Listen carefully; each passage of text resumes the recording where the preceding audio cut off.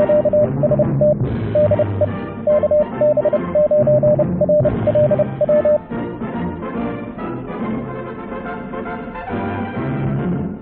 YouTubers and fellow hams. Good morning. Well, let's see. For me, it's Wednesday morning, and you'll be watching this Friday morning.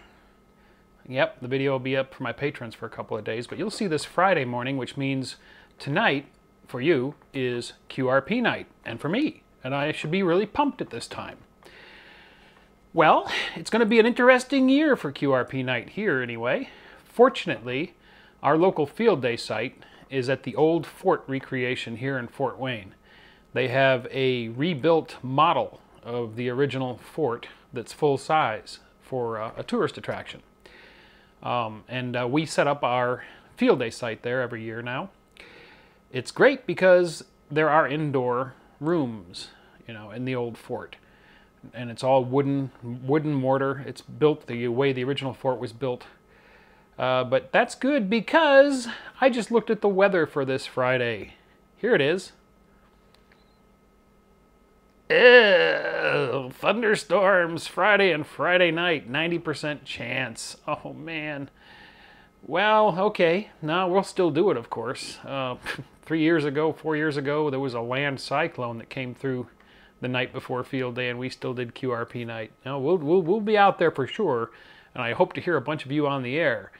But that brings to mind antennas. If we're going to have thunderstorms going on, what am I going to do for an antenna for QRP night? Well, I have a plan, and I've already built it. Now, a few videos back, I showed you the uh, hula hoop antenna, which I've used as a prototype for all kinds of tests in the past. And I had set it up to be a receive antenna for 630 meters. Um, what I did was I put uh, antenna rotor cable through the middle of it, which is four wire cable. And I ran it through three times, which gave me 12 turns. And I was able to get it to resonate for 630 meters, and it worked okay for receive. My plan was to make it a transmitting loop as well, a magnetic loop. But I could not get it to couple up reliably and produce a reliably low SWR. I think, I'm pretty sure, this is all speculation of course, but I'm pretty sure it's because the windings inside the uh, hula hoop were chaotic. You know, the, the cables were just laid over each other and run through the loop and, and wrapping around each other, no doubt. So there was no linearity to the windings, and I'm pretty sure that's why I could not use it as a transmitting loop.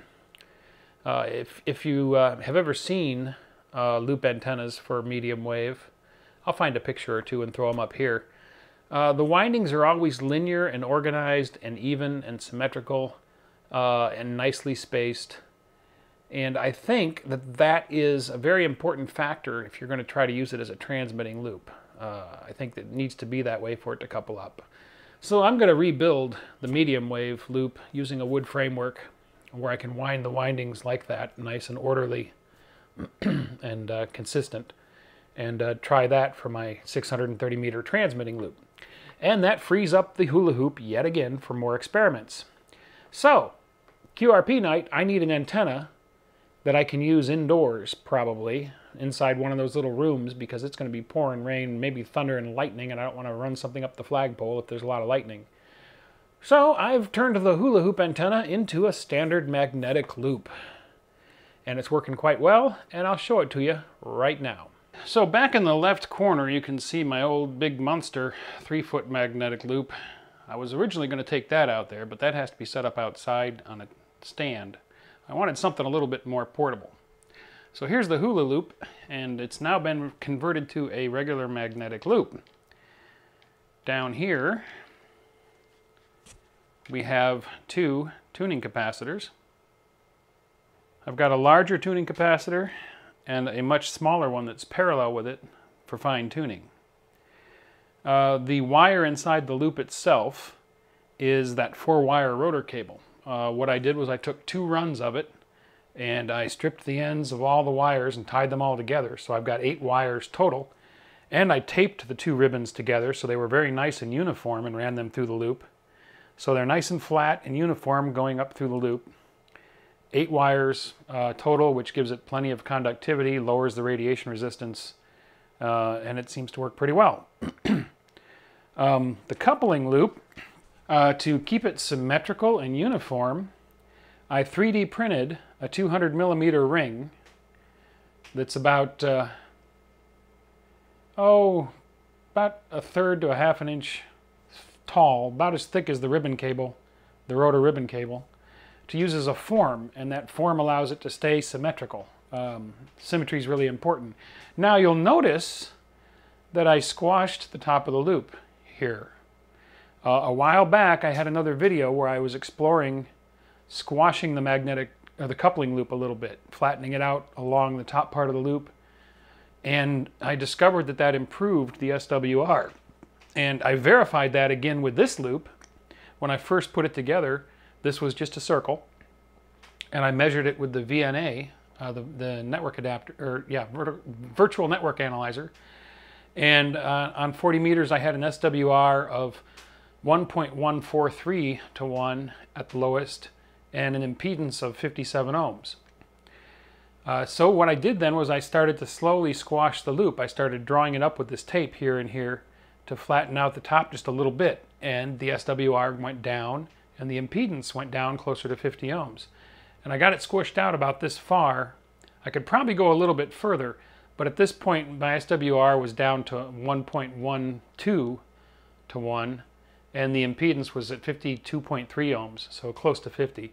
So probably if I squished it just a little bit further, I might even get it down to 50 ohms and a one-to-one -one SWR. But the point is, um, this is the third time that I've done this, and in every case that I've squashed the top part of the loop a little bit against the outer loop, um, it has improved the SWR and it has brought the impedance down closer to 50 ohms.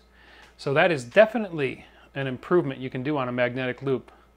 Um, flatten out that top of the loop, of the coupling loop a little bit right up against the outer loop. Seems to, certainly does seem to help. I've done it three times now and every time it's improved things. So anyway, this is going to be my QRP Night antenna. Overall, the antenna is very portable. It's lightweight. It's uh, stable. What I did to stabilize it here is I, I took a small flat piece of board, anchored it to the base, strapped it at the top, so the loop is very stable. Um, I ran the BNC connector through here so it was right at the coupling loop so you, the connection is extremely short to the coupling loop. And the uh, coupling loop is the same ribbon that I used inside the loop. Uh, so the diameter matches the diameter of the ribbon in the loop. And that seems to help too. It's very stable. I can tune it with these capacitors. I can tune it from uh, just above 5 megahertz up to almost 17 meters. I've got just a bit too much capacity here um, I probably need to find a variable cap that's a little bit lower. This one goes to 300 picofarad. Uh, I could probably get by with one that goes to 150 and still get down to 40 meters. Uh, but I left it together for now because I'm really only interested in 40 and 20 meters for QRP night. So this antenna will be able to be placed. You can see it's, it's lightweight. Uh, it'll fit in the back of my car just fine. Um, it'll be able to be placed on a table in one of the rooms at the old fort right next to where I'm operating and uh, quickly tuned with the uh, fine tuning capacitor there, which works great by the way. Paralleling a smaller uh, variable cap with your big variable cap makes tuning these things a snap. You, you tune the big cap until you hear the noise peak on your receiver and you're almost there. And then you throw out a carrier and you quickly fiddle the uh, small cap to get your SWR down to the lowest. And it's, it's painless to tune with, with the uh, smaller cap in parallel. So I'd recommend doing that on, on your magnetic loop designs. Obviously, uh, you want to use as thick of a, of a, conductor as possible to connect the two capacitors in parallel and also to connect them to the, to the loop itself. You want to keep that resistance down as low as possible for efficiency. So the loop is presently hooked up to the Yaesu FT817 and I've been uh, doing WSPR transmissions for about an hour and uh, looking over at the map. Now I'm on 20 meters, it's early morning so 20 isn't quite open yet. But I'm getting down into uh, Texas, I'm getting up into Minnesota, I'm getting out to the East Coast, and this is at 500 milliwatts um, with the loop here in the in the room. So um, I'm pretty happy with that. Uh, I'm going to do some more playing around a little later today uh, with PSK. Maybe try to make a sideband or CW contact on it, but I think it's going to work fine for QRP night tonight. for me, it's Wednesday. For you, it's Friday. So tonight. So um, hope to hear, uh, talk to several of you on the air uh, tonight at QRP night. And uh, also, um, I will be doing a video, of course. So you'll see a video of uh, the activities tonight um, later next week. Thanks for watching. If you enjoyed the video, don't forget to give it a thumbs up. Also, if you're not already a subscriber, click to subscribe. Join us on the Facebook channel for discussion about the videos. And if you'd like to help support this channel, please click to support me on my Patreon page.